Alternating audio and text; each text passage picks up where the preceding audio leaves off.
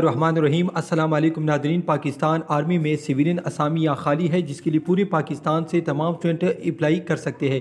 Apply का तरीक़ार और इस इश्तहार की मुकम्मल डिटेल मैं आपके साथ इस वीडियो में शेयर करूँगा। इससे पहले मैं आपको बताता चलूँ, वीडियो के डिस्क्रिप्शन में हमारी वेबसाइट का लिंक मौजूद है। जिस पर हम डेली बेस जॉब्स के इश्तहार अपलोड करते रहते हैं। अगर आप गूगल में सर्च करना चाहते हैं तो सिंपली आपने G O V T P A K Pak G O V jobs dot com इसी तरह आपने मुकम्मल लिखना है। सर्च करने के बाद नीचे जो लिंक शो रही है, आपके सामने शो हो जाएँगे। इस पर क्लिक करने से आप हमारी वेबसाइट की फ़र्स्ट पेज पर आ जाओगे। इसके अलावा अगर आपको पाकिस्तान में किसी भी इदारे, चाहे वो फोर्स का हो या सिविलियन इदारा तो सिंपली आपने हमारे चैनल के प्ले लिस्ट में आना है। वहाँ पर आपको पुराने, हलशुदा औरिजिनल टेस्ट मिल जाएँगे। ठीक है? अब इश्तिहार की मुकबल डिटेल मैं आपके साथ शेयर करता हूँ। सबसे पहले जो असामी है, वो है असिस्टेंट की दो असामियाँ हैं। इसके लिए पंजाब और सिंध के स्टूडेंट अप्लाई कर सकते हैं। सिंध में रूरल के स्टूडेंट अप्लाई कर सकते हैं। इसके लिए ग्रेजुएशन मांग रहे हैं और आपकी टाइपिंग स्पीड तीस वर्ड्स पर मिनट होनी चाहिए। इसके बाद डेटा एंट्री ऑपरेटर की दो असामियाँ हैं। सिर्फ़ पंजाब के स्टूडेंट इसके लिए अप्लाई कर सकते हैं।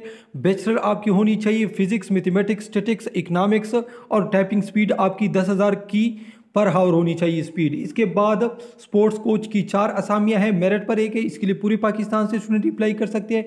पंजाब में एक, जबकि सिंध रूरल में दो असामियाँ।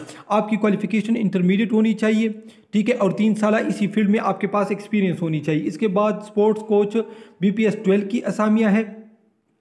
एक असामी है, सिंध से है इंटरमीडिएट और तीन साल एक्सपीरियंस आपके पास होनी चाहिए इसी फ़ील्ड में। इसके बाद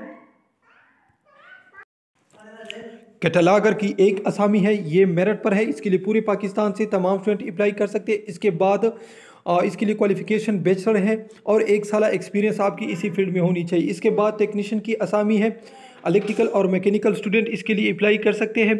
तीन असामियाँ हैं, एक मेरिट पर है, एक पंजाब में है, एक बलूचिस्तान में है। मैट्रिक और आपके पास ये होनी चाहिए इलेक्ट्रिकल इंजीनियरिंग में इलेक्ट्रिकल फ़ील्ड में। ठीक है, और पाँच साल एक्सपीरियंस होनी चाहिए इसी फ़ील्ड में आपको। इसके बाद आईसी जर्नलिज्म की असामियाँ हैं। सिंध में एक, पंजाब में एक मैट्रिक और पाँच साल एक्सपीरियंस आपकी होनी चाहिए इसी फ़ील्ड में। इसके बाद लैंग्वेज लेबार्ट्री असिस्टेंट की एक असामी सिंध रूरल के स्टूडेंट इसके लिए अप्लाई कर सकते हैं। मैट्रिक विद साइंस और एक साल एक्सपीरियंस इसी फ़ील्ड में। इसके बाद नर्सिंग असिस्टेंट की एक असामी है। मेरिट पर एक है, इसके लिए पूरे पाकिस्तान से तमाम स्टूडेंट अप्लाई कर सकते हैं। Matric with science and diploma in nursing और एक साल एक्सपीरियंस आपके पास होनी चाहिए इसके बाद लिबार्ट्री असिस्टेंट की एक असामी है, पंजाब में एक है मैट्रिक विद साइंस एक साल एक्सपीरियंस इसी फ़ील्ड में आपके पास होनी चाहिए। इसके बाद पेंटर ग्रेड टू की एक असामी है सिंध रूरल के स्टूडेंट इसके लिए अप्लाई कर सकते हैं। मिडिल आपके पास तालीम होनी चाहिए और इसी फ़ील्ड में आपके पास एक्सपीरियंस हो। अप्लाई आपने किस तरह करनी है? आपने हाथ से एक अप्लीकेशन लिखना है, उसमें आपने तमाम तर डेटा पुट करना है, ठीक है? मोबाइल नंबर, मुस्तकिल पता डेट ऑफ़ बर्थ तालीम और एक्सपीरियंस वगैरह सब कुछ आपने उसमें लिखना है। उसके साथ आपने तमाम तर डॉक्यूमेंट्स वगैरह सब कुछ अटैच करने हैं और साथ में सीवी भी लगानी है, ठीक है? और ये जो इसका पता है, मैं आपको बाद में पता भी बताता हूँ, इसके अलावा आपने ये बाईस अगस्त तक लाजमी भेजने हैं, ठीक है? आपका जो होगा, उम्र जो है 18 से 30 साल तमाम के लिए। आप की होगी डायरेक्ट इन टेस्ट और इंटरव्यू इंटरव्यू और टेस्ट के दिन आपने अपने ओरिजिनल डॉक्यूमेंट्स और तमाम चीज़ें अपने साथ लेके जानी है। ठीक है? 28 अगस्त को आपने कहाँ जाना है? मैं आपको बताता चलूँ। टेस्ट और इंटरव्यू के लिए आप के पीछे कोई एसएमएस या कॉल लेटर नहीं आएगा, बल्कि आप डायरेक्ट जाओगे।